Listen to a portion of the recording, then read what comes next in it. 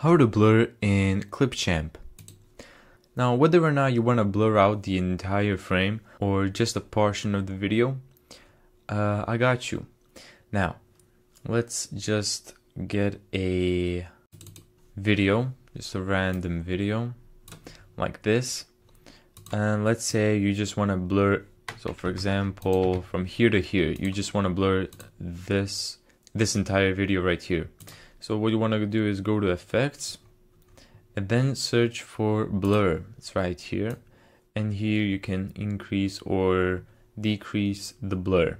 Well, at least blurring the entire frame. You can import just a random black screen that I downloaded beforehand. Let's say, for example, you want to blur out, I don't know, the root of this tree or whatever. Uh, let's just do that. Now you can crop this.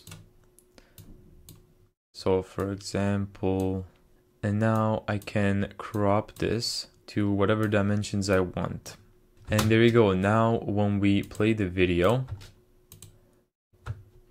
the root of this tree will be censored, but there is a way to blur it. So let's say, let's split and let's say you want to blur the root of the tree at that part of the video. So what you want to do is just split this, copy, and paste it into one whole other, you know, um, to a whole other video track. Go to effects and then blur it. And then what you want to do is click crop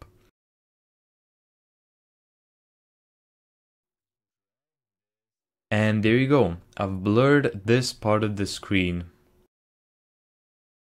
Now, thank you so much for watching this video. If you found this tutorial helpful, make sure to give it a thumbs up and subscribe. And as always, see you in the next video.